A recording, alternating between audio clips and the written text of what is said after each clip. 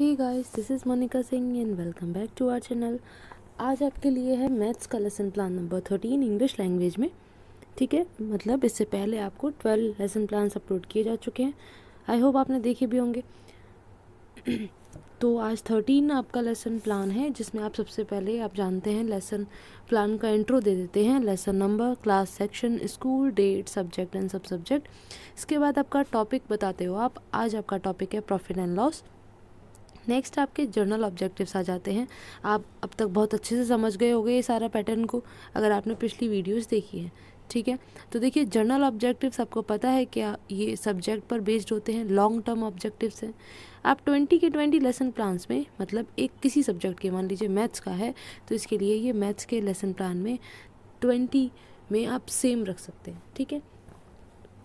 लेकिन जो नेक्स्ट है हमारे स्पेसिफिक ऑब्जेक्टिव्स वो आपके टॉपिक बदलते ही बदल जाते हैं। हर लेसन प्लान में नया टॉपिक और नए स्पेसिफिक ऑब्जेक्टिव्स इसके बाद टीचिंग एड जो भी आप चीज़ें यूज़ कर रहे हैं, पढ़ाते वक्त वो टीचिंग एड में आ जाता है। प्रीवियस नॉलेज हम मानकर चलते हैं बेसिक नॉलेज हर टॉपिक के बारे में बच्चे को होती है, इसलिए हर लेसन प्लान को लिखते वक्त हम उसके टॉपिक को ही बता देते हैं कि इसकी बेसिक नॉलेज बच्चे स्टूडेंट्स रखते हैं। इसके बाद हमारी प्रेजेंटेशन शुरू होती है, जिसमें सबसे पहले हमारे इंट्रोडक्टरी क्वेश्चन आ जाते हैं। अगर आपने पहले समझा हो तो बहुत अच्छी बात है, वरना आप दोबारा सुन सकते हैं। इसमें आपके पाँच कॉलम दिए गए हैं। पहला आपका कॉलम है, जहाँ आप टीचिंग पॉइंट बताते हैं।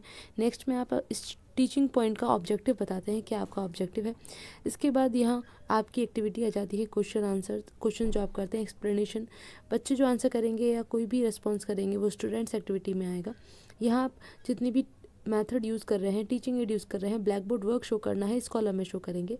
और टीचिंग पॉइंट पढ़ाने के बाद और लेसन प्लान के बाद में आप जब इवेल्यूशन क्वेश्चन करते हैं, वो आप इस कॉलम में शो करेंगे, ठीक है?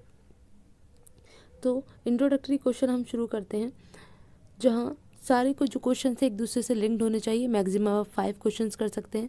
क्वेश्चन ऐसे कह रहे हैं जिसका आंसर आपको वही मिले जो आप पाना चाहते हैं, जिससे कि आपका अगला क्वेश्चन शुरू हो पाए। ठीक है? ऐसा नहीं है आप आप कोई क्वेश्चन आपने किया, कि बच्चा ये आंसर कर देगा, बच्चा ने, बच्चे ने डिफरेंट आंसर कर दिया और नेक्स्ट क्वेश्चन आपसे, आपका उससे रिलेटेड था और पैटर्न बिगड़ गया, है ना? तो ऐसा नहीं होना चाहिए। आप खुद एक बार पढ़ के देख लें, अपने आप से पूछ कर देख लें क्या वही आंसर मिल रहा है, या अपने फ्रेंड से पूछ कर देख लें, अगर वो अनदर आंसर दे रहे हैं, इसका मतलब उस क्वेश्चन के मल्टी आंसर्स हैं। तो आपको इस प्रकार से रखना है अपना क्वेश्चन कि आंसर वही मिले जो आप चाहते हैं, जिससे आपका नेक्स्ट क्वेश्चन कनेक्ट कर पाए, शुरू हो पाए, ठीक है? लास्ट वाला जो क्वेश्चन है हम मानकर चलते हैं, बच्चे को इसका आंसर नहीं आता होगा। अगर बच्चा आंसर दे भी देता है तो भी कोई प्रॉब्लम नहीं है। आपको वैसे ही आगे अपना लेसन प्लान कंटिन्यू करना है। इसके बाद आपका स्टेटमेंट ऑफ़ एम आती है, जहाँ आप बताते हैं कि आप क्या पढ़ाने वाले हैं। और इंट्रोडक्टरी क्वेश्चन का लास्ट क्वेश्चन भी आपका इसी टॉपिक से कनेक्ट होना चाहिए, जो आप पढ़ाने वाला है। इसके बाद में आपकी एक्सप्लेनेशन आ जाती है। आप ऐसा कर सकते हैं कि पहला जो पॉइंट है टीचिंग पॉइंट है, वो आप सीधा सीधा एक्सप्लेनेशन दे दें डेवलपमेंट्री क्वेश्चन ना करें। ठीक है?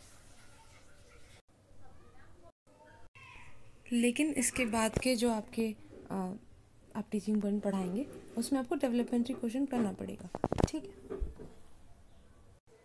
तो यहाँ ये आपकी एक्सप्लेनेशन हो गई यहाँ ये ऑब्जेक्टिव हो गए नॉलेज बेसिस पर और अंडरस्टैंडिंग बेसिस पर ठीक है? टीचिंग पॉइंट आपने शो कर दिया बच्चों की एक्टिविटी हो गई एक्सप्लेनेशन मेथड है ये ब्लैक बोर्ड वर्क शो कर दिया और टीचिंग पॉइंट ख़त्म होने के बाद में ये आपने एक क्वेश्चन कर लिया एवेल्यूशन क्वेश्चन ठीक है?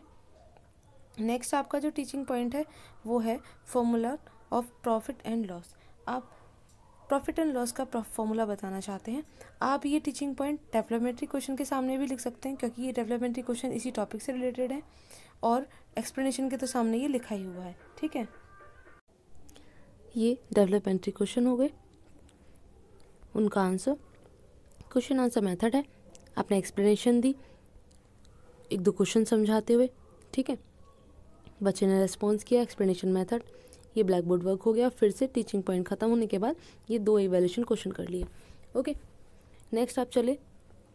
तो आपका नेक्स्ट टीचिंग पॉइंट आता है form profit and loss percentage जिसके लिए आपने डेवलपमेंट्री क्वेश्चन किए। आपको आंसर मिला। क्वेश्चन आंसर मेथड है। फिर आपने एक्सप्लेनेशन दी है। ठीक है?